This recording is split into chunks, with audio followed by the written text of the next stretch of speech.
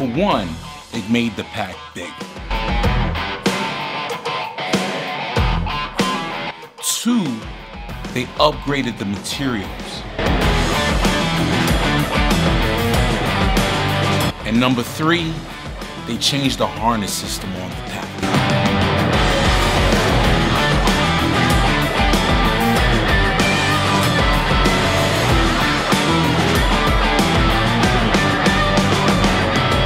At this point, we all know Kifaru. They're that hunting company that also makes some great everyday carry packs. This is the Antero 2.0 right here, an upgraded version, a redesign. I really like what they did with this pack. They took some of the features from out of their line of everyday carry packs, incorporated it into this pack, and I think that they did an excellent job on this pack. We're gonna run through it I, like I said in the intro, there's some big changes and then some subtle changes. So we're gonna, when I can, I'm gonna point out the changes that I've noticed from version one. You could take a look at that video. I'll put a link up in the corner of the screen to this version two right here. So I like to take people to the cooler sections. We're gonna do the specs. I already said that this is a bigger pack. It moved from a 24.5 liter pack in the version one to a 27.8 8 liter pack in this version 2. So almost three more liters of space. Three more liters doesn't sound like a lot, but action, in actuality, in actual use, it is a significant amount. And it moves this pack to a different place, a more capable place for me right here. I, I wanna give you the dimensions. If you're gonna take a tape measure to this thing, it's 20 inches high, it's 10.5 inches wide, and it can expand out to a depth of 6.5 inches. This pack is one inch taller than the original version, the version one of this pack. And I got to say, it does make a difference. This pack is a long pack. I, I, I prefer it. I like it. I'm a six foot tall guy. Um, for a shorter person, this pack may be a little long for them, but I like that the extra space, the capacity we just talked about, and the extra height. This pack right here is made out of a 500D Cordura body. I think the original version was a 500D Cordura version as well. But what's new is the lining in this pack. We might as well go ahead into the interior of the pack. You got an AquaGuard zipper that runs all the way around, almost like it is, not almost like, it is a U-shaped opening. It's four zippers on the main section, then that means that you got a lot of versatility. So you can actually open the pack from the side when it's on body, like this and get into the main section. And there's actually some organizational pockets right here in the front that you can get access to on body. So I like that. Also what they built in is like the little security catch down here that you can kind of slide your zippers in. This is not long-term security. This is kind of to slow a person down from getting into your bag but I like the YKK zips. I like the, the zippers right here. I would think they're like a number six or number eight. They're not a large number 10, but I don't need that just to get into the side of the pack. They're super smooth. And we're gonna lay this thing all the way open and I want to show you this main interior space. Lots of space inside of this pack. Now, I was talking about the 500D Cordura on the outside of the pack, and on the inside, they've moved to a VX21 material, X-Pack VX21 material. That's a leaps and bounds above, you know, far as material uses in most of these everyday carry packs. Aligning this great. So I got a jacket in there, but I want to show you this, this VX material. It makes the interior look really good. Very polished, so in there, I got my Galen leather notebook and some sunglasses. I got my dad joke books I always amuse my kids with. Inside, they have their chamber pocket up here at the top, which I always enjoy having a chamber pocket. Most companies don't include a, just an additional pouch for you. It's up here on some clips. If you flip it back, you get to a hydration slash laptop compartment back here. This is a 15 inch laptop. It fits in there with no problem. It's suspended suspended off the bottom by a lot, like a good like two or three inches. So I appreciate that. Not much padding though in this laptop sleeve. So you wanna be careful you're not packing out some sharp objects that are gonna be pressing against your laptop. Just that VX material. And then you got your hydration hook up here at the top. Now, uh, right here, the tag, it says made in America, not the regular made in America, made in America, sewn in America, with American made products, American made fabrics, threads, cushion, all of that. That's what Kifaru does. A lot different from a lot of different companies. So when we get down talking to about the price, don't have sticker shock. You have your hydration ports on the sides that go run out of the sides of the pack and they're really well done. The top of them has like elastic, uh, elastic at the top just to finish that off. The tapes and seams in, in the seams inside of the bag are taped and sewn really well. The stitching is superior, high quality. I don't know any other adjectives to tell you how good the stitching is inside of this pack. It's excellent. So so that's the main section, and it's a lot. You have a lot of volume. You could travel with this pack with no problem. I, I know you could travel two, three days easily with this pack. So let me take you to the, the inside lid of the pack on the other side. Now, what I was saying before is you have zipper, like a zippered pocket here that you can access from the outside of the pack since it's like a horizontal pocket. Right in there, I have my Popov leather little moleskin notebook and then my Greenroom136 little pocket where I keep all my cards. The mesh in here, superior, high quality. What I would say is it's comparable to like a Mystery Ranch three-day assault pack in the inside. Very high quality nylon. It's going to be last for years. So zippers in here are great. Little, you know, little tie right there matching the bag. And then this pocket right here, I have to admit, I wish the zipper, this is a pocket at the top of the bag, so you can access it from the top of the bag, but I, I have to admit, I wish this zipper was reversed. I wish the zipper was at the top and then you zipped it down instead of how it is now where the zipper sits at the bottom and you zip it, you kind of zip it up. It's a small thing, but when you're when you're in like when I'm in my truck, right? And I have the bag sitting next to me, right? And I flip this, I have to flip this back and search for the zipper inside of the bag instead of it being right here at the top where I can kind of zip it down. So that's one little nitpicky thing that I found with this zipper. I wish it was reversed. Inside, the pocket itself is great. It's got a lot of space in it. I got the Kifaru pullouts to go with the bag because why not? Because they're great. They're super light. This one's like a blaze orange and this one's like an olive green. They both fit in there. So one set up with electronics and one set up with like healthcare stuff. But inside, yeah, same great mesh, same great VX material in the inside of this pocket. This is a huge pocket um, on this bag. I actually like this a whole, whole lot. Gives you a lot of organizational options. Like I said, you gotta zip that, that zipper down. So inside, you got two pockets, laptop sleeve, chamber pocket, place for hydration, setup for simple everyday carry or short travel. I like it. Now let's go on the outside of the back. Now what I will say about Kifaru's gear, it's very well thought out. So we'll start at the bottom here. We have some lashing points down here where you can lash in some extra, you know, whatever you want, bed rolls if you're gonna be using and this is like a hiking pad or just a sit pad. You could put it, pop it down, down here at the bottom. Same great grab handles that stand up away from the bag. This webbing is very high quality. You get a great purchase on this on this bag. I'm sure you can pull the bag from upside down if you wanted to. And you get also have another great grab handle up here at the top which feels just as comfortable, stands away from the bag, you know, knuckle rubbing right here on the grab right here. I like that. So you move up, you got the Kifaru little tag sewn in, great. Extra step, yes, I appreciate it. Then on the Antero, what makes it the Antero are the two great water bottle pockets on the outside of the bag.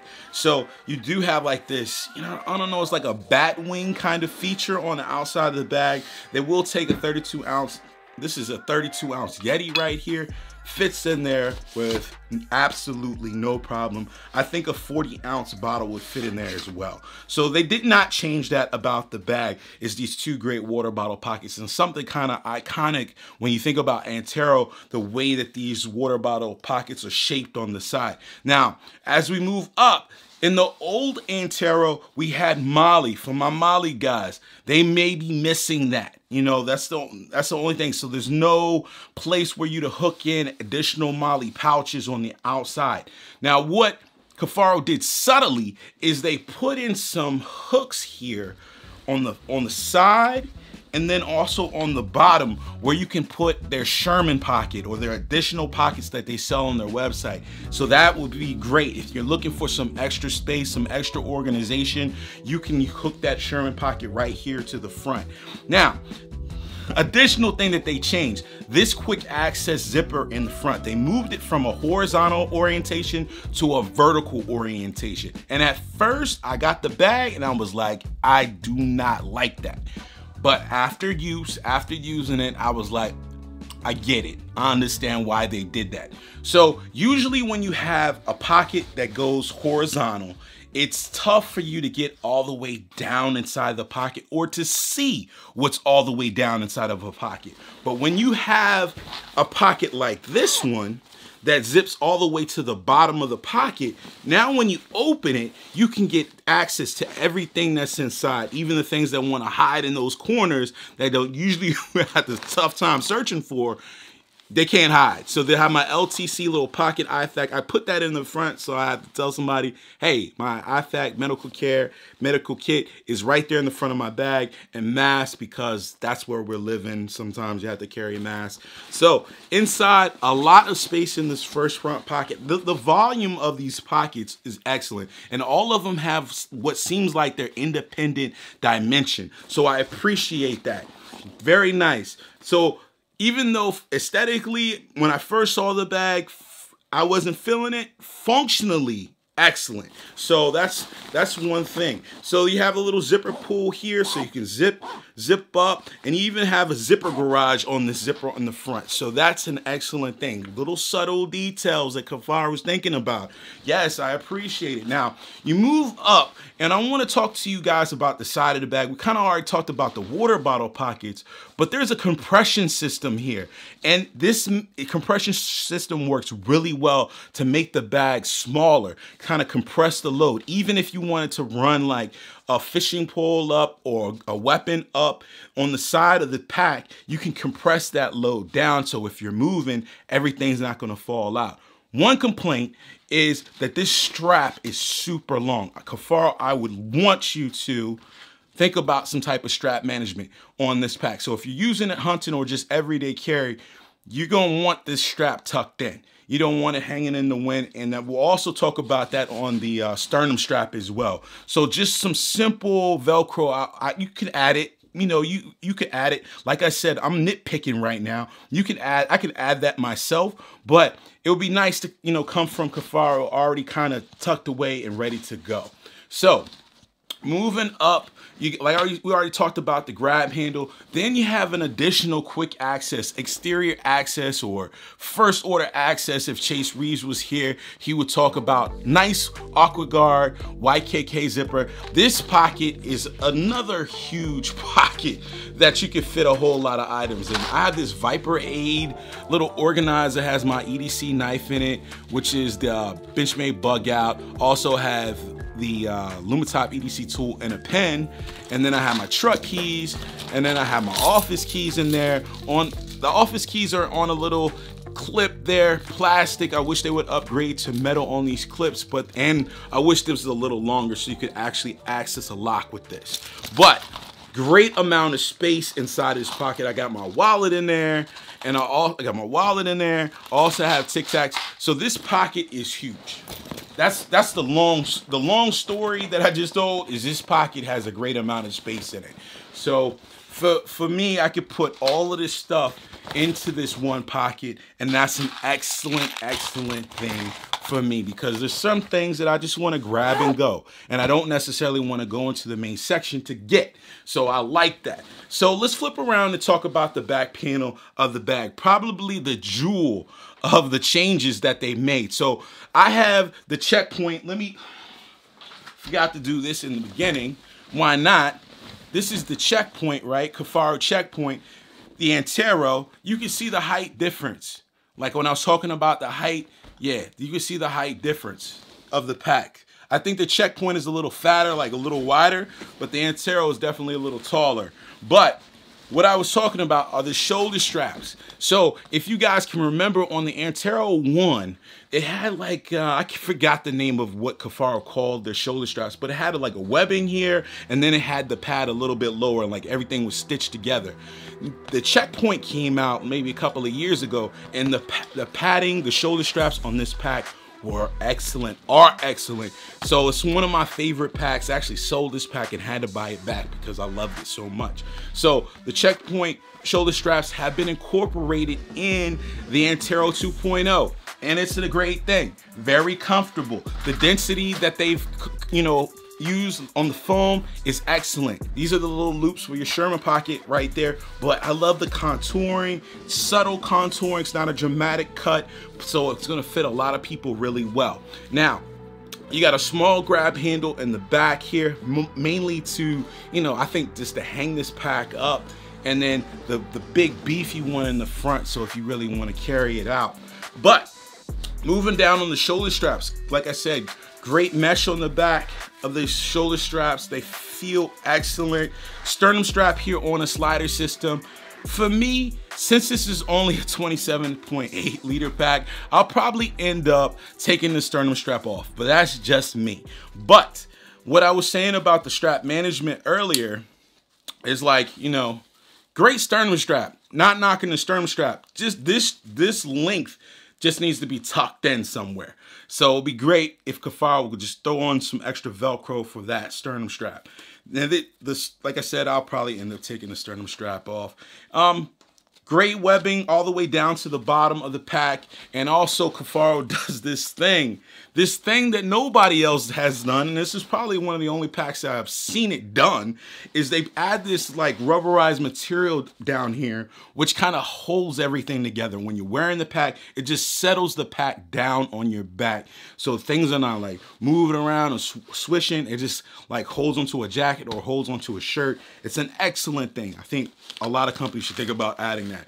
And in the back right here, you have a place for a hip belt. Since this pack is so tall, a hip belt could actually work with this pack. So, uh, you know, that's actually a good thing. And, and it attaches to some Velcro, and I think that Kifaru sells it on their website. So one thing about the back panel is you have different options for stays. There's you have options for aluminum stays and the composite stays. I chose the composite stays and I think that they do excellent for my back shape. So that's your choices and you can access them from inside of the main section.